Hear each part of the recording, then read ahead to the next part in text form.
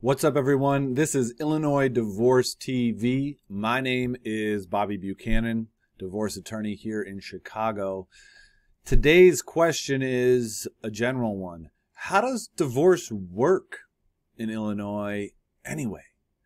So, what I'm thinking for this video is I'm just going to break down the process for you or, or kind of how people get from the place of saying, you know what, my marriage is over to actually being divorced. What does that actually look like in practical terms?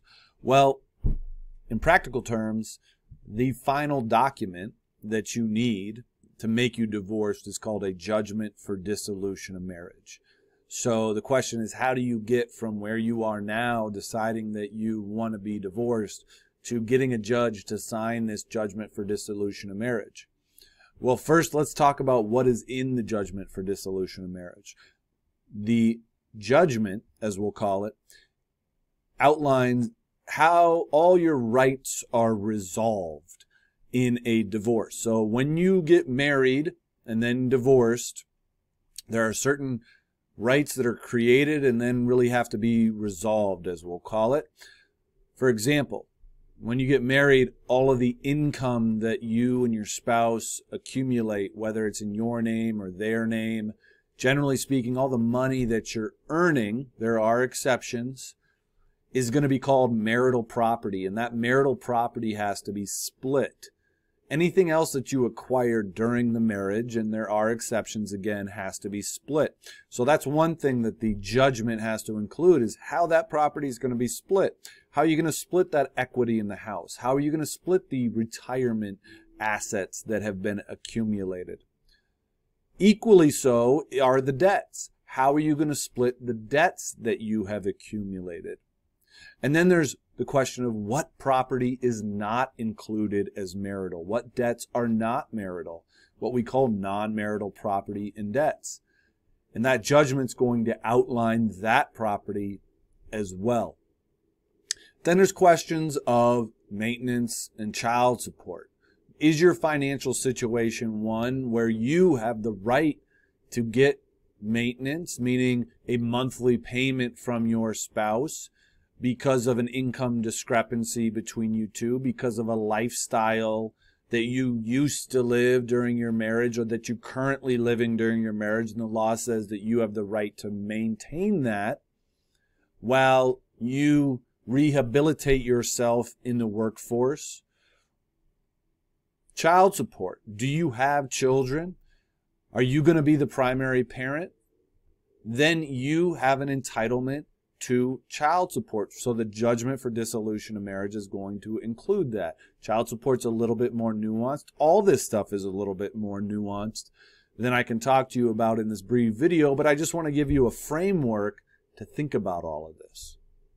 So that's kind of the property stuff. There's more nuanced property issues that arise with each individual case. You know, maybe your house is underwater, it doesn't have any equity in it, and you're going to have to sell it. And somebody's going to have to pay the mortgage while you're selling it. All of that stuff is included in the final judgment. And then if you have kids, there's going to be the custody portion, or called allocation of parental responsibilities. And that's going to lay out the schedule that you and your spouse have your responsibilities as far as decision making and your rights to see the child and your responsibilities in taking care of the child or children. So those are the kind of the general things that are going to be in that final judgment. How you get there is dependent on how much cooperation there is between you and your spouse. So if you and your spouse are getting along well enough and you both are on the same page about the fact that you're going to get divorced, but you know that you need to think through some of these issues, you might contact a mediator and say, hey, we just need to sit down and think through all this stuff and kind of do a little negotiation here or there. Or maybe your situation is more complicated and you say, I think I need to talk to a lawyer first to get a grasp of what my rights are. And then that lawyer can put together a proposal and send it to your spouse. A proposal, that final judgment being the proposal. Or maybe your situation is so simple that you can just go online, get form judgments, uh, a form judgment, and fill it out with all the pertinent information. Get your spouse to sign it. And then figure out those little steps that you need to do to get that final court date to get the judge to sign off on it. So how divorce works really depends on how complicated your situation is and how much agreement you're going to get from the other side. But it all comes down to that one final document and how you get there. How do you get to the judgment for dissolution of marriage? I hope this has clarified some things for you. In the comments, you can put your comments, your questions, concerns, anything like that. I'll continue the conversation with you down there. Don't forget to subscribe and I'll talk to you soon.